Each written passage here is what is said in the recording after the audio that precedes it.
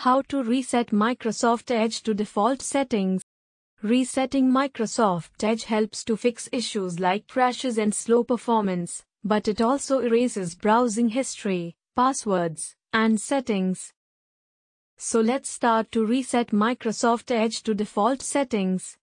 Open Microsoft Edge on your Windows device. In the top right corner, click on the three dots icon. Then from the drop-down menu, select Settings. In the left-hand menu, click on Reset Settings.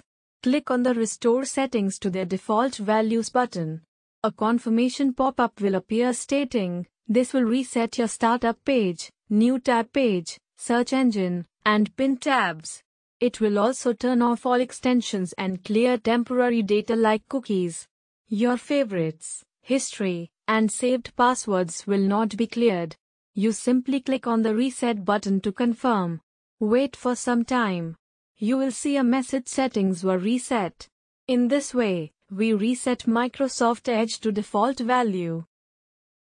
Also, keep in mind that there are multiple profiles in Microsoft Edge, and resetting one profile will not affect the others.